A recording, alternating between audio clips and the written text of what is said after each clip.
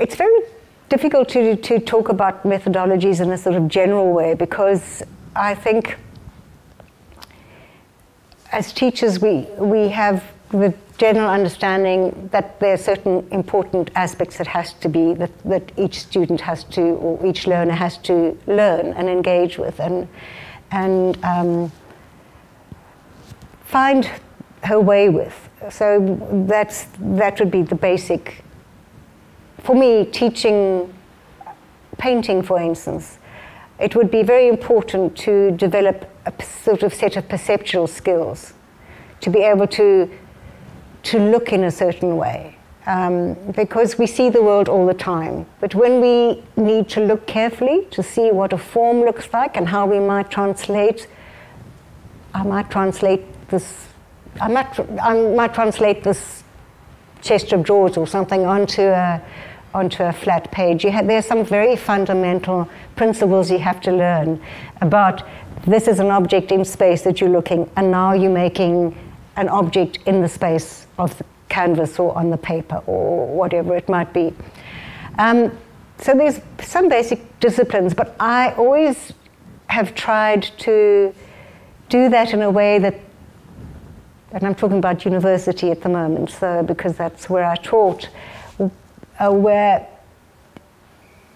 the student would herself recognize what the methodology was rather than me saying this is the method and imposing it onto the practice. So, for instance, I'll give you an example. This is the best way of doing it. In the second year, at in one of my classes at, uh, at WITS, I, there was a big class, about 30, 40 students. Um, and they were all now in their second year of study. So they basically knew the very basics of, of painting and I gave them each exactly the same photocopy, black and white photocopy, um, and they had to copy it. As I said, try and copy it as best as you can, just exactly copy it. And so they all tried to do this um, on exactly the same size paper. And then afterwards, I put all the copies on the wall, and of course, they all looked completely different. And this was the way to say to them, okay, you're all very good copiers in that you're all trained to look very carefully. You can render, you can translate a three dimensional form or a, another reference onto another piece of page, paper.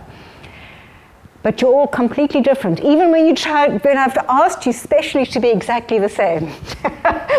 and it was a fantastic installation. We put them, we made it into an installation. So we put the, all these absolutely the same, absolutely different works on a wall, and it was such a lesson. And they all learned themselves, without me telling them, that they're all individuals.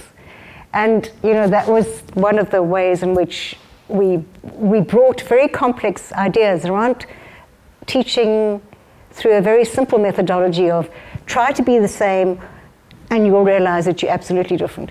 That was one way of doing it. And the other way is what I do always um, is in first year when students first come from, from schools.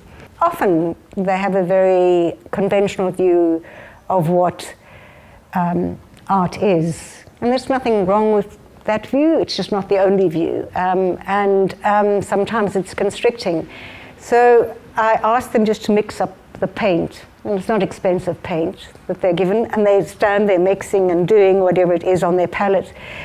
And I ask them to do it, you know, use this color, use that color, use the other color. So it's a kind of limitation. And then we all stand back and we look at exactly, before they've even made the painting, we look at the palette. We look at how they've mixed their colors and what they've done with the materiality of, of, of the paint. Um, and I do believe that everybody has got a very, very, very distinctive and a very, very particular attitude to what we might call paint, but what we could really call materials. It could be clay, it could be, it could be anything, sand, the way you move things around, the way, and that is already, before you even make the painting, that's a sign of your particular creative disposition.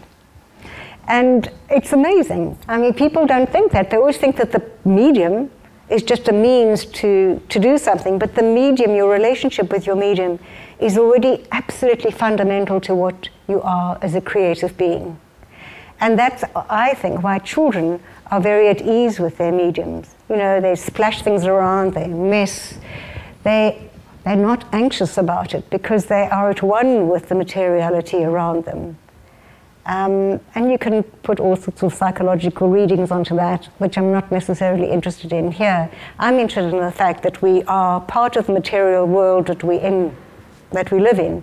We're not separate from it, and we can be creative in, in so many ways. And so, children who make mud pies or who work draw in in the sand, that's being creative. And you can see that when you ask people to squeeze out paint on a palette and to start mixing before they even think about what they're going to paint or what the corresponding colors might be to what they need in the painting. Just to look at how they behave with material is very, very amazing. And it's thrilling to see that because you know that that material then will always be with them in one form or another, whether it's paint or whether it's how they decorate their rooms, or whether that's whether it's like how they engage with a larger community around a much bigger creative project that might be, say, environmentalism, like what we need to do as human beings um, in terms of the environmental crisis that we're in, for instance, to engage with with art processes um, at school and to think about how they speak to and give you a, uh, a conduit to thinking about processes of, of social change, um, attitude change. For instance, a good one is the environment because that is absolutely clearly related to how we work with material and what we take from the world, um, the environment. Um, and I think that that's, yeah, that's just a, a really, really good uh, a good way of, of people recognizing that the microcosm of their world can be extrapolated, taken out to the vast, you know, to the macrocosm, to the sort of larger space of the, of the world in which we all are responsible to, to, to treat well.